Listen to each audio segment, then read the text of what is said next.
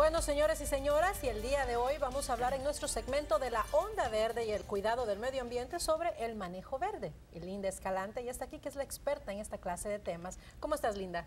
Buenas tardes, Dunia, ¿cómo estás? Muy bien, ¿y tú? Bien, gracias. Lindo viernes, lindo día para poder darle a la gente consejos sobre el manejo verde, ya que el fin de semana se aproxima. Sí, y fíjate, la semana pasada estuvimos hablando de los cambios en los carros que vienen desde el 2012, que van a ser más económicos en términos de gasolina, pero también seguiremos utilizando la gasolina para estos carros y seguiremos dependiendo del petróleo extranjero. Y, la idea es de que nos independicemos de esto no solamente por razones de seguridad nacional, sino también para proteger a nuestro planeta, porque esto es uno de los mayores contribuyentes al calentamiento global. Entonces tengo unos consejitos para nosotros los conductores de carro de gasolina y, inclusive los de carros híbridos para reducir eh, eh, el consumo más o menos estuve, estuve averiguando y uno se puede ahorrar aproximadamente unos un 20% de lo que uno gasta al año si simplemente cambiando un poco nuestro comportamiento como conductores y, manteniendo los carros mejores. Entonces, lo, lo, lo, lo, que veremos a ver es que para mí serían como unos 500 dólares porque tengo un carro,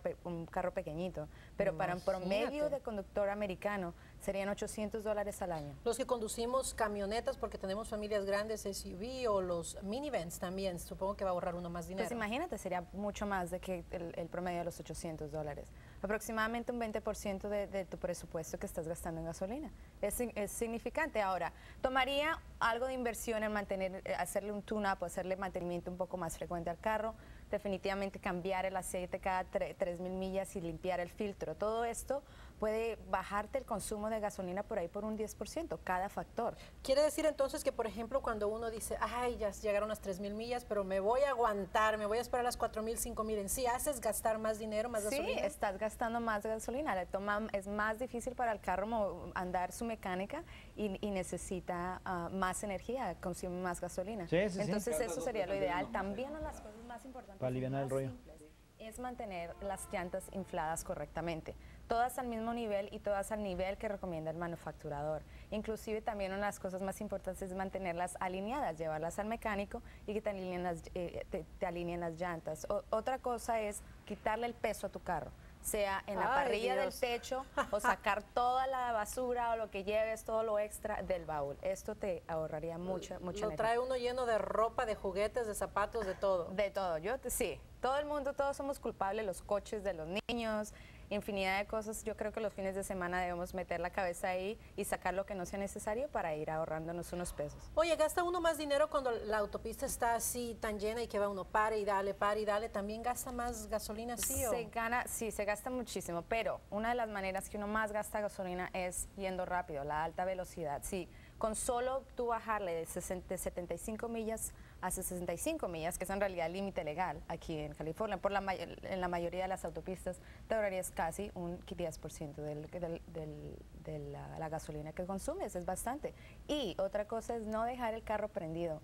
Así uno, cuando uno está estacionado esperando a los hijos que salgan de la escuela, a apagarlo.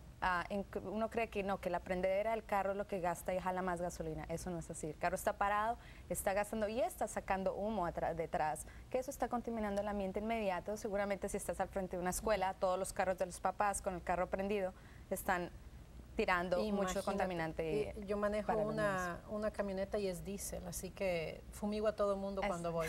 Oye, ¿qué hay de cierto en que uno puede ahorrar dinero también al mantener los frenos nuevos? Cuando están pegando ya las, las pastillas, les dice alguna gente, o las placas que hace ese ruido pues yo hasta el momento no he escuchado nada de lo del, ruido, pero sí lo que he escuchado es de que ah, uno no debe, no, debe mantener el pie en el freno, porque con la frenadera eso también gasta gasolina. Inclusive las, arrancadas, las aceleradas rápidos, arrancadas repentinas, eso también jala muchísima gasolina. Reducir el consumo de aire acondicionado, aguantarse un poquito más el calor o una temperatura un poquito más bajita y estacionarlo en un lugar donde no le caiga el sol así no se calientan tanto. Perfecto, muchísimas gracias Linda, como siempre con tus sabios consejos para cuidar nuestro medio ambiente y también nosotros algo de dinero podemos ahorrar. Llegó pues el momento